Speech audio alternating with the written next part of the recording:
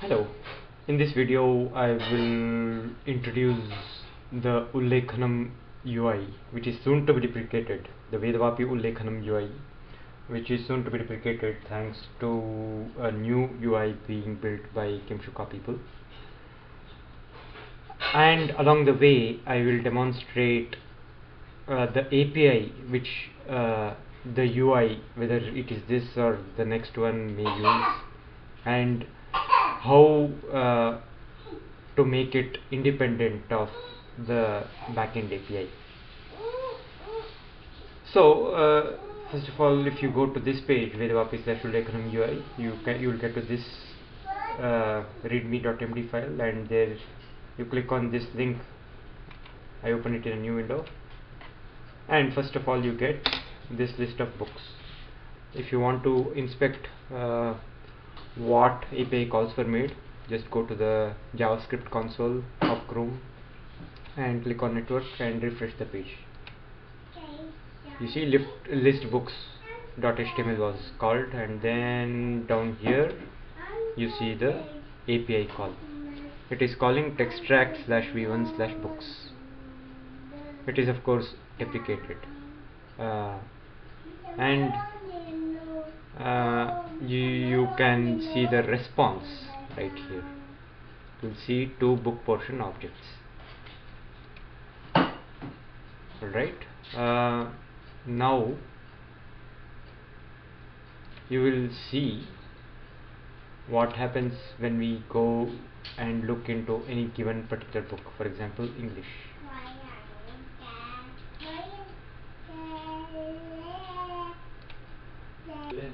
okay you get to this particular page. Uh, and you see this what is supposed to have been an arrow mark here and an arrow mark here which helps which makes you navigate the pages inside this book. Uh, so if you click on this you get a new page and a new page and so on. So here we are. And let us see what uh, APIs were used. Let's just refresh this page see it called uh, first of all viewbook.html which is a static HTML page and a bunch of JavaScripts which we are not interested in. The real API call happens right here. See that is the response. And but let's see the header first. Uh, it's calling textract slash v1 slash books slash the book book name. Uh, the book id sorry.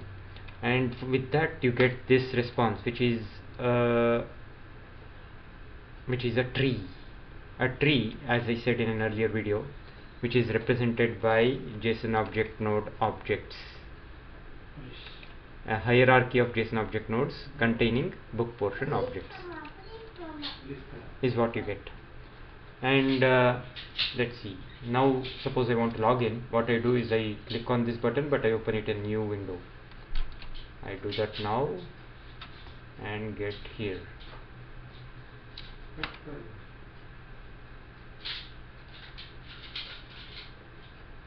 Okay.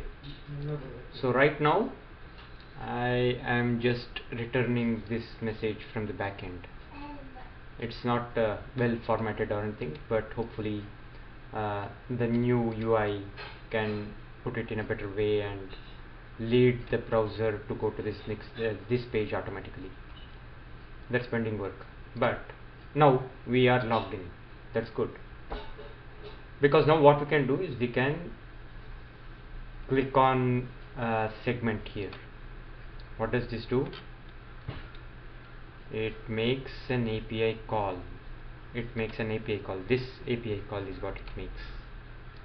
It makes this API call it says get me all the image annotations for this page of course this is deprecated your uh, API and you will have new API right here in the Ullekhanam thing uh, so uh, just to see the API which it did use let's see. Um, I'll open textract slash docs in a new window. And let's see if I marked it uh, deprecated okay see here. The strike through it tells us that these things are being have been deprecated. Uh, instead we just use uh, suitable API provided in the Ullekhanam space. So what we have is a bunch of image annotations. And uh, what did this API in fact return? It indeed returned JSON object nodes a tree of uh, an array of tree of JSON object nodes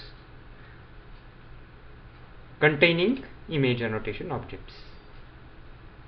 And of course you see every rectangle here you see it's x1 uh, y1 h height and width right here. Now suppose I want to add I want to change I want let's say that I want to change some rectangle I just draw, drag it like this and then I hit on save see here. Now it it should have saved. Let's look at the console.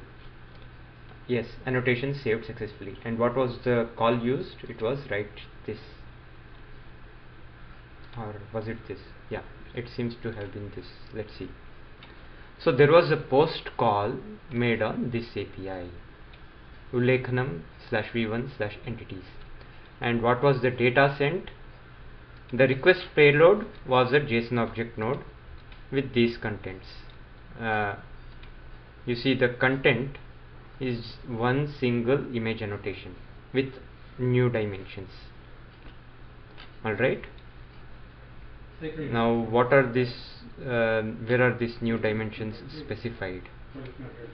Uh, it would be inside the targets uh, the first array and the oh, okay these are the new dimensions. And you see uh, the ID is also specified here within the post request a payload. But you don't see any ID mentioned here it's always read from here. If anything needs to be updated it is read from here and the appropriate object is up updated. Alright then uh, let us see what this one was. Oh this one was some options call which we are not interested in. We'll just ignore this call. And this is what this is the post call which saved the new dimensions of this image annotation object now suppose I want to uh, I will just what I'll do is I will extend this further. Oh sorry that created the new thing. I'll, I'll just cancel that and I'll extend this one here. And I will again click on save first of all. And as usual you see the post request here along with the newer dimensions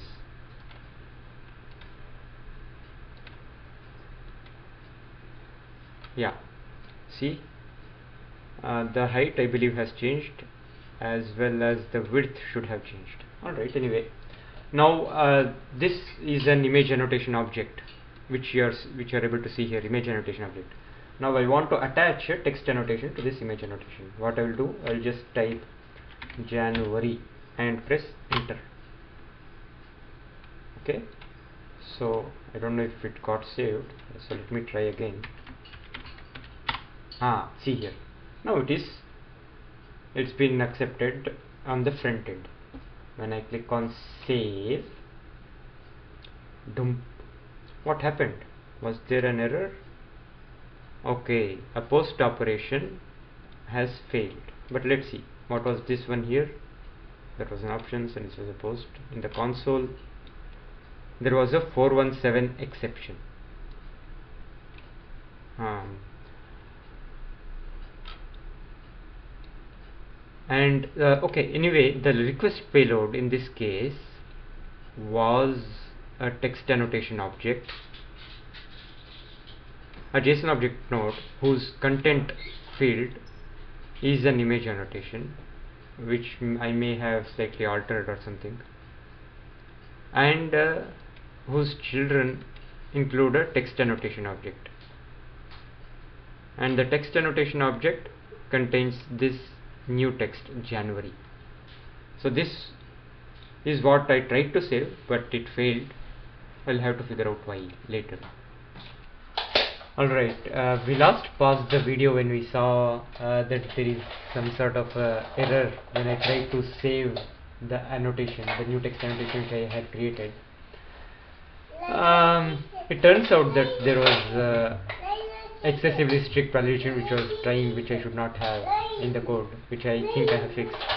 But I want to take this opportunity to illustrate what to do when such an error happens.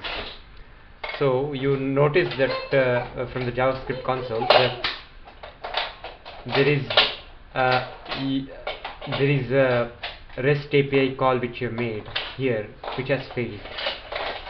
And you can see it in the console as well right here uh, and it returns the 417 error code.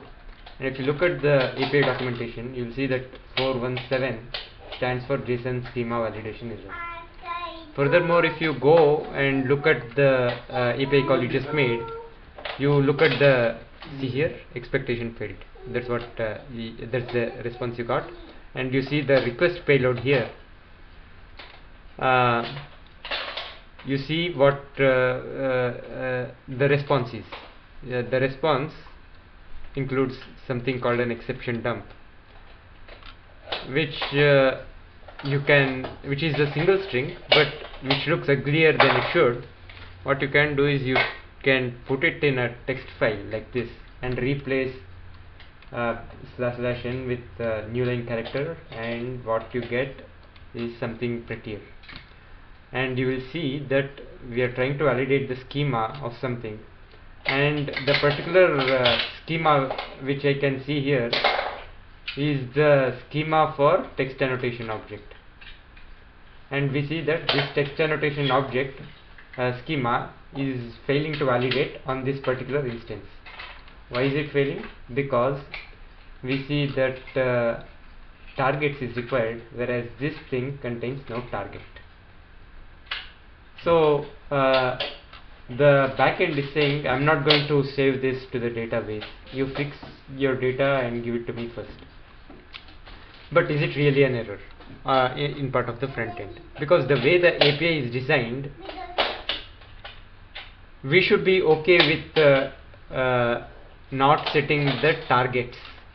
As long as we are passing the uh, sort of uh, parent object in the content field right? So there are two ways of looking at this. One is if you are passing this text annotation object in the content uh, field of the JSON object node then it should definitely validate perfectly which means that it should have a targets field set as well which is why there is no problem in trying to write for example this if uh, children were totally empty. Okay? Uh, however there is another uh, another way of uh, writing this text annotation node.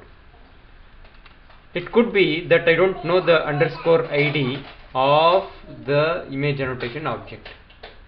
Right? Then what what will happen is I cannot set the targets field of the text annotation object uh, as you can see in the text file I just showed you in the snapshot I, just showed you showed you. See there is no tar I can't set the targets if I did not know. In this case of course I do know the uh, object ID of the image annotation but it is possible that I created the new image annotation for example by clicking here uh, I created a new image annotation like this. But uh, uh, it is possible that uh, this image annotation uh, is uh, I just created. I have not saved it but I want to add a text annotation to it before saving. So in that case there is no object ID for the image annotation.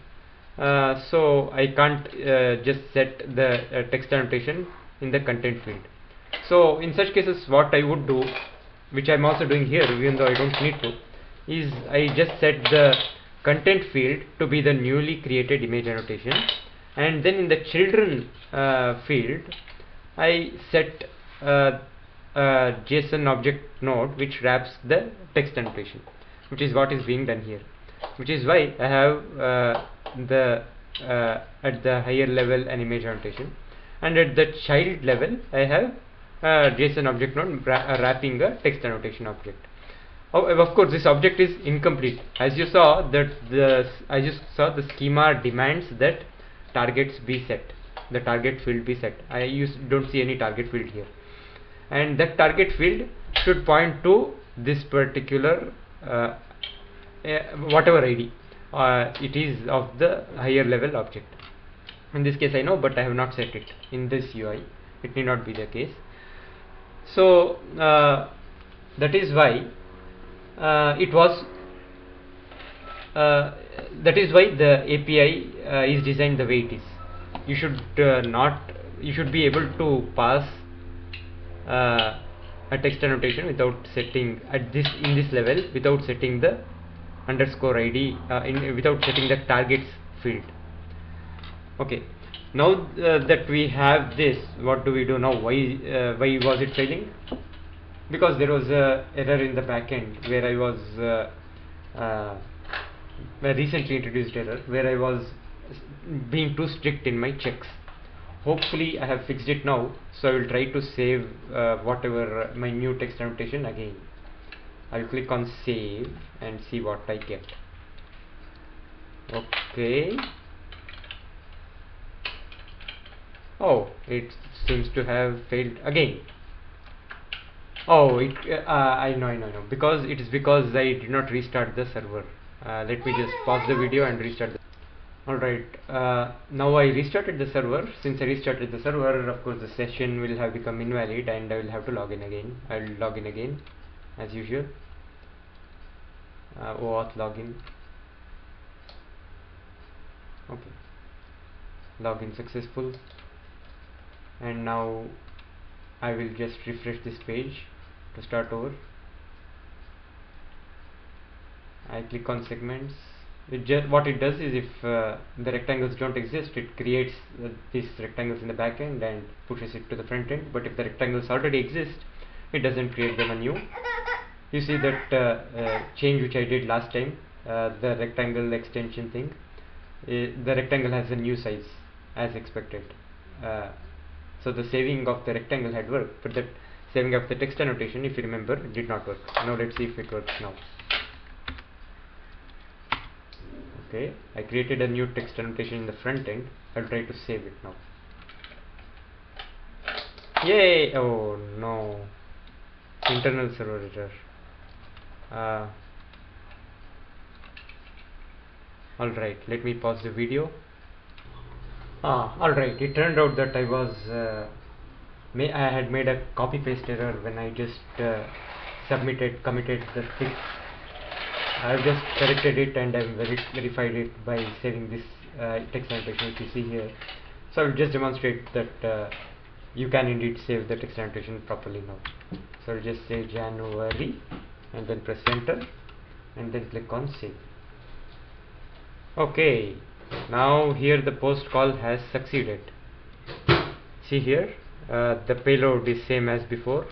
I have a content class pointing to the image annotation uh, and the content field pointing being the image annotation and the chi children node being a new text annotation without a targets field set. So the backend will set the targets field appropriately automatically. So there is no problem. So uh, post I have demonstrated that it works right now. Uh, now let us see how do we delete an annotation. I'll just uh, click on something and press delete. So it's gone. So both the image annotation should be gone and the associated text annotation should be gone. Uh, let us see if we can save this. Okay it seems to have succeeded again. And this of course is accomplished using a delete call. You see this a delete call. Now uh, this delete call what we are doing is we are passing again a JSON object node and we are passing first of all uh, two things. One is the image annotation which corresponded to the rectangle around 20 and comma and then other was the text annotation which corresponded with uh, the content where the letters 20 com and comma. And uh, you see from the response that 200 okay which means if you look at the sorry if you look at the API what does 200 mean? It means update success. So no problem. Everything has succeeded. And here I terminate this video. Hope this was useful